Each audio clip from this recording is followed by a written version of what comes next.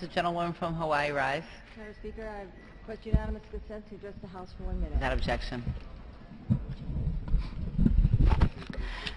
Madam Speaker, my home state of Hawaii just hosted APEC, and I'd like to thank the people of a state for their patience and understanding. There were 21 Asian Pacific countries represented at this event. Our president was there, as was the president of China, Russia, and the prime minister of Japan, to name a few. It's important to note that what was dominating the conversations was the rising dominance of China. The president, our president, asked China to end the policies of keeping the yuan artificially low, and it is artificially low at 28 to 30 percent.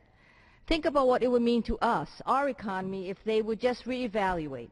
It would support 1.6 billion jobs. It would increase our GDP by 285 billion in just 18 months, and our deficit would be reduced between 670 to 800 billion in just 10 years. Madam Speaker, why haven't we taken up the issue of the reevaluation of the yuan? Our Senate passed it in October, the Currency Exchange Rate Oversight Act. It is time for us to act. The United States must maintain its dominance and its position. Please bring that bill up to our floor. Thank you, Madam Speaker, and I yield back my time.